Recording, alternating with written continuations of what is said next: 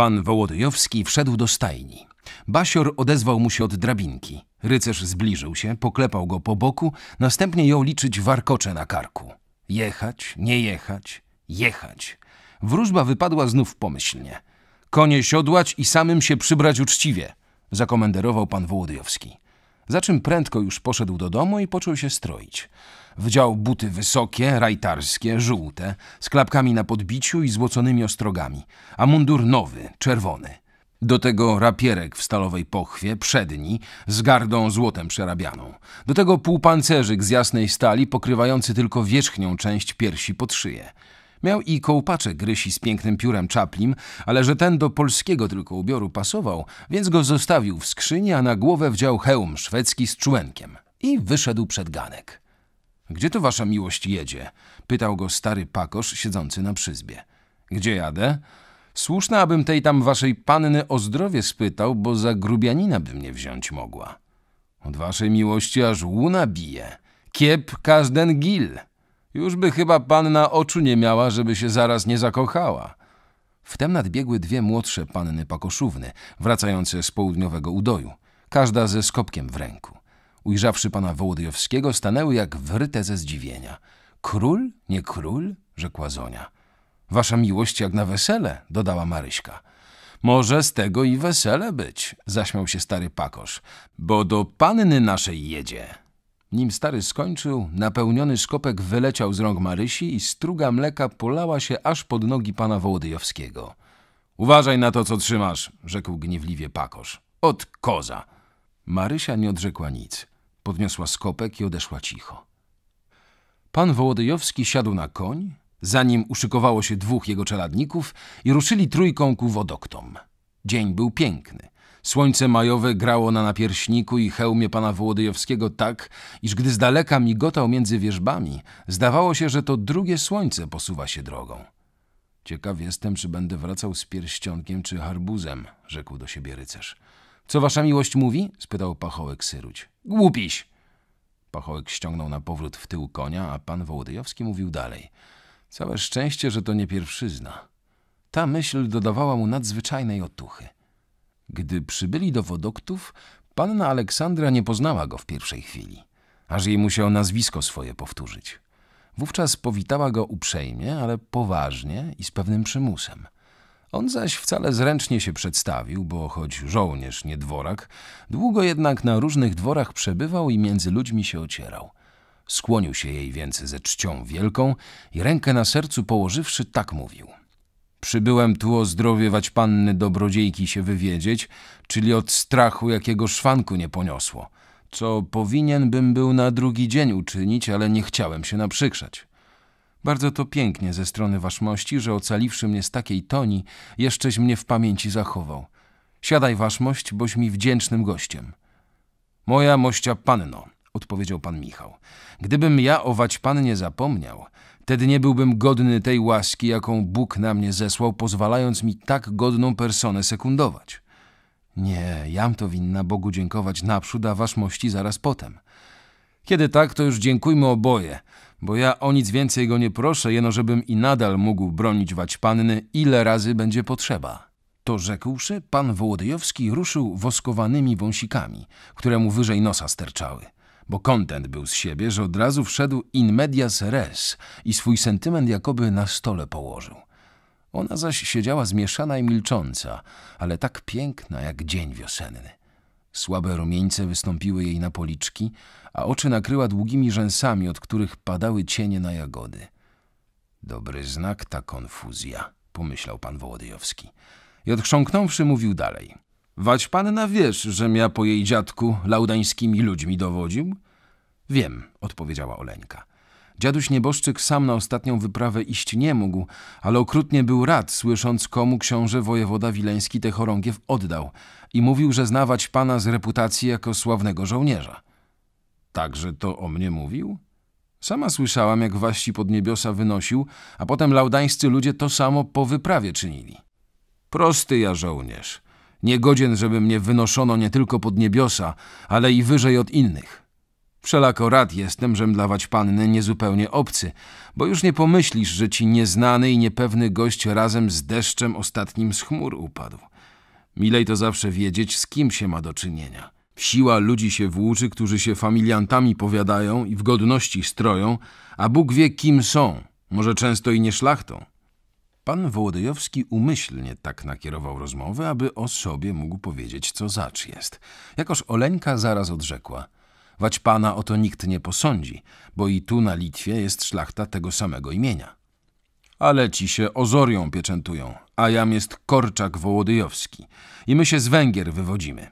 Od pewnego dworzanina Attyli, którym dworzanin ścigany będąc od nieprzyjaciół, ślub Najświętszej Pannie uczynił, już się z pogańskiej wiary na katolicką nawróci, jeśli z żywotem ujdzie. Tej obietnicy potem dotrzymał, gdy trzy rzeki szczęśliwie przebył, te same właśnie, które w herbie nosimy.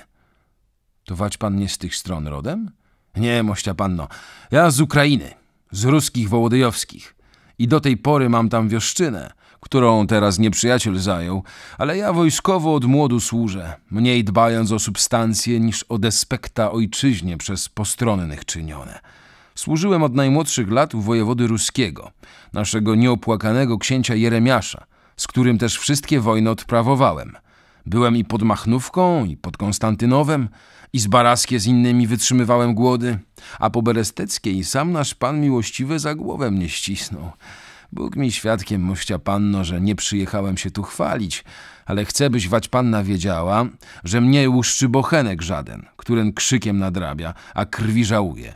Jeno, że mi życie w uczciwej służbie zbiegło, w której się trochę sławy uszczknęło, a sumienia niczym nie zbrudziło. Tak mi, Panie Boże, dopomóż. A oprócz tego mogą to i godni ludzie poświadczyć. Żeby to wszyscy byli do Pana podobni, westchnęła panna.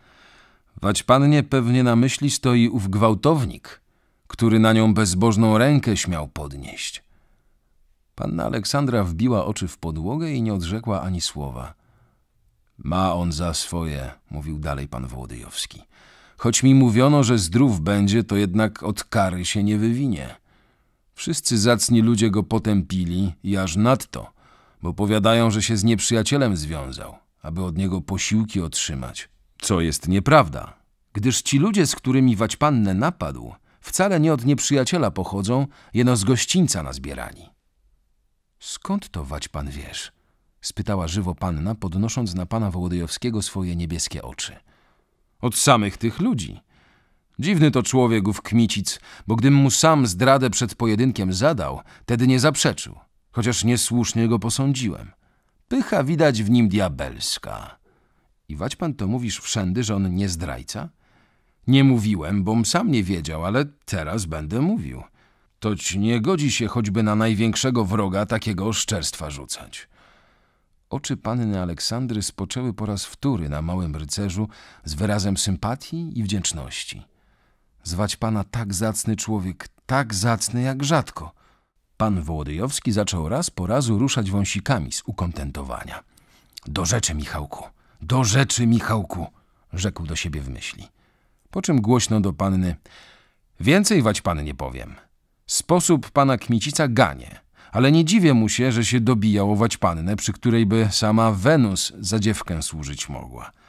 Desperacja to go popchnęła do złego uczynku i pewnie raz jeszcze go popchnie, jeśli mu się sposobność nadarzy. Jakże to przy tak nadzwyczajnej urodzie sama i bez opieki zostaniesz? Więcej jest takich kmiciców na świecie. Więcej zapałów wzbudzisz, na więcej przygód cnotę swą narazisz. Bóg mi zesłał łaskę i żem mógł cię uwolnić, ale już mnie trąby gradywa wołają. Któż nad tobą będzie czuwał? Moja mościa panno, posądzają żołnierzów o płochoć, aleć niesłusznie. I u mnie serce nie ze skały i obojętne na tyle wybornych wdzięków zostać nie mogło. Tu pan Wołodyjowski upadł na oba kolana przed Oleńką. Moja mościa panno, mówił klęcząc.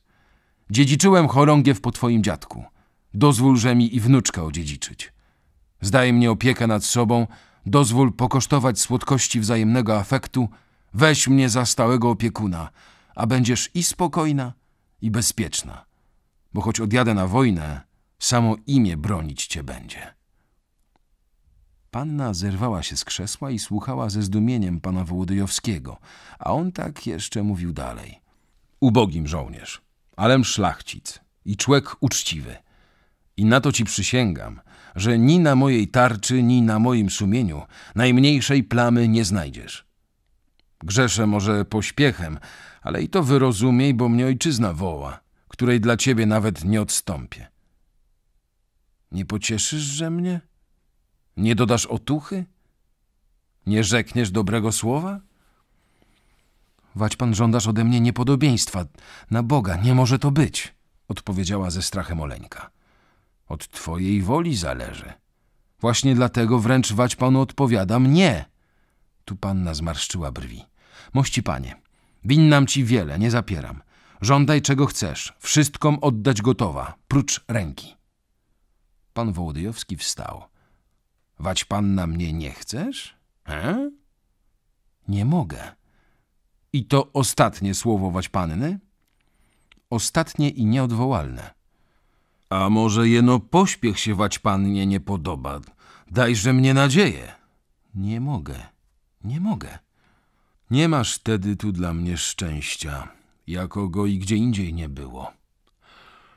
Moja mościa panno, nie ofiarujże mi zapłaty za usługę, bo mnie po nią przyjechał. A żem ręki prosił, to nie za zapłatę, jeno po dobrej woli. Gdybyś mi rzekła, że ją oddajesz, bo musisz, to także bym nie przyjął. Jak nie ma woli, to nie ma idoli. Zgardziłaś mną. Bodaj ci się nikt gorszy nie trafił. Wychodzę z tego domu, jak i wszedłem. Jedno, że nie wrócę więcej. Za nic mnie tu mają. Niech i tak będzie. Bądźże szczęśliwa, choćby z tym samym kmicicem, boś może właśnie o to gniewna, żem między was szable włożył. Kiedy on ci lepszy, toś ty istotnie nie dla mnie. Oleńka chwyciła się rękoma za skronie i powtórzyła kilkakrotnie Boże, Boże, Boże. Ale ta jej boleść nie przejednała pana Wołodyjowskiego, który skłoniwszy się wyszedł zły i gniewny, po czym zaraz siadł na koń i odjechał. Noga moja więcej tam nie postoi, rzekł głośno. Pachołek Syruć, jadący z tyłu, przysunął się zaraz. Co wasza mość mówi? Głupiś, odpowiedział pan Wołodyjowski.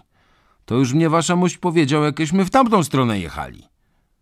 Nastało milczenie. Po czym pan Michał znów mruczeć począł.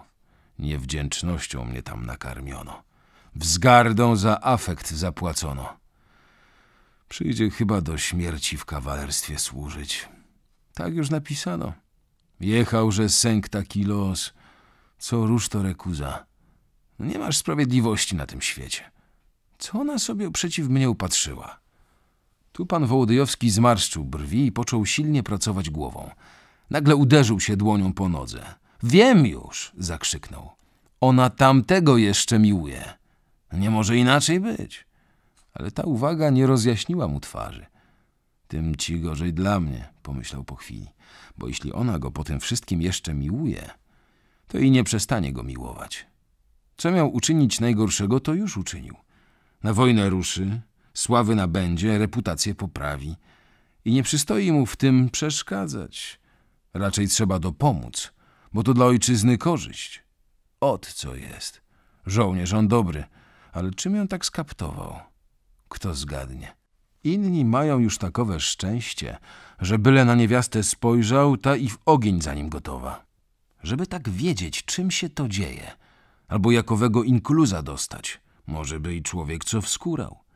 Zasługą do niczego z białogłową nie dojdziesz. Dobrze powiadał pan Zagłoba, że liszka, a niewiasta to najzdradliwsze stworzenia na świecie. A taki żal mi, że wszystko przepadło. Okrutnie to gładka podwika i cnotliwa, jak powiadają. Ambitne to widać jak licho. Kto to wie, czy ona za niego pójdzie, chociaż go miłuje, bo ją ciężko zawiódł i obraził. Przecie on mógł spokojnie do niej dojść, a wolał się warcholić. Gotowa się całkiem wyrzec i za mąż pójścia i dzieci. Mnie ciężko, ale i jej nie bodzę, może jeszcze ciężej. Tu pan Wołodyjowski rozczulił się nad dolą Oleńki i począł głową kręcić, ustami cmokać. Wreszcie rzekł. Niech jej tam Bóg sekunduje. Nie mam do niej urazy. Nie pierwsza to dla mnie rekuza, a dla niej pierwsza boleść. Niebożątko ledwie zipie od trosków. Jeszcze jej oczy wykłuł tym kmicicem i do reszty żółcią napoił. Nie godziło mi się tego czynić i naprawić wypada. Bodaj mnie kule biły, bom po grubiańsku postąpił. Napiszę do niej list, żeby odpuściła, a potem w czym będę mógł, to i pomogę. Dalsze rozmyślania pana Wołodyjowskiego przerwał pachołek Syruć, który przysunąwszy się znów, rzekł – Proszę waszej mości, toż to tam na górze pan Harłamp z kimś drugim jedzie. – Gdzie? – A ot, tam. No, prawda, że dwóch jeźdźców widać, ale pan Harłamp został się przy księciu wojewodzie wileńskim. Po czymże ty go tak z daleka poznajesz? A po bułance. Dyć ją całe wojsko zna. Jako żywo, że konia widać bułanego. Ale może być inny. Kiedy ja i chód jej poznaję. Już to pan Harłamp z pewnością. Popędzili obaj konie, a jadący naprzeciw uczynili toż samo i wkrótce pan Wołodyjowski poznał, że to istotnie pan Harłamp nadjeżdża. Był to porucznik piatychorskiej chorągwi litewskiego komputu, dawny znajomy pana Wołodyjowskiego, stary żołnierz i dobry. Niegdyś wadzili się mocno z małym rycerzem, ale potem, służąc razem i wojnę odbywając, polubili się wzajemnie. Pan Wołodyjowski poskoczył tedy żywo i otworzywszy ręce wołał – Jakże się miewasz, nosaczu? Skądżeś się tu wziął? Towarzysz, który istotnie na przezwisko nosacza zasługiwał, bo nos miał potężny, wpadł w objęcia pułkownika i witali się radośnie. Po czym odsapnąwszy rzekł – Do ciebiem umyślnie przyjechał z ekspedycją i z pieniędzmi. Z ekspedycją i z pieniędzmi? A od kogo? Od księcia wojewody wileńskiego – naszego hetmana. Przysyła ci list zapowiedni, abyś zaraz zaczął zaciąg czynić i drugi dla pana Kmicica, który też się ma w tej okolicy znajdować. I dla pana Kmicica? Jakże to we dwóch będziemy w jednej okolicy zaciągali? On ma jechać do Troków, a ty masz zostać w tej okolicy. Skądżeś to wiedział, gdzie mnie szukać? Sam pan hetman pilnie o ciebie wypytywał, aż mu ludzie tutejsi, którzy tam jeszcze służą, powiedzieli, gdzie cię znaleźć. I ja jechałem na pewno. W wielkich tam zawsze jesteś w faworach. Słyszałem księcia naszego pana, jak sam mówił, że nie spodziewał się po wojewodzie ruskim niczego odziedziczyć, a tymczasem największego rycerza odziedziczył. Dałby mu Bóg i szczęście wojenne odziedziczyć. Wielki to dla mnie honor, że mam zaciąg czynić i zaraz się do tego wezmę. Ludzi wojennych tu nie brak, byle było za co ich na nogi postawić. A pieniędzy siła przywiozłeś? Jak przyjedziesz do pacunelów, to policzysz. Toś i do pacunelów już trafił? Strzeż się jeno, bo tam ładnych dziewcząt jak maku w ogrodzie. Dlatego to i pobyt ci tam smakował. Czekaj, że mam i drugi list, prywatny, hetmana do ciebie. To dawaj.